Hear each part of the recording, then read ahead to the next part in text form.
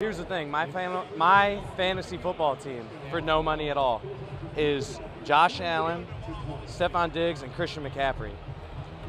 I do pretty well each week. Yeah, I, do- I do pretty well. Aiyuk having a day, baby? Let's go. I tried to trade for Aiyuk this week too. Couldn't get him.